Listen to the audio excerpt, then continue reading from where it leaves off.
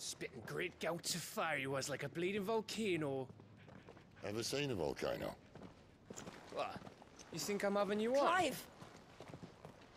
Your friend! She's awake! Right.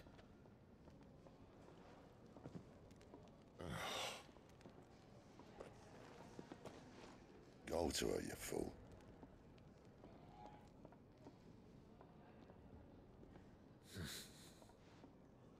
Right, you lot. Enough slacking.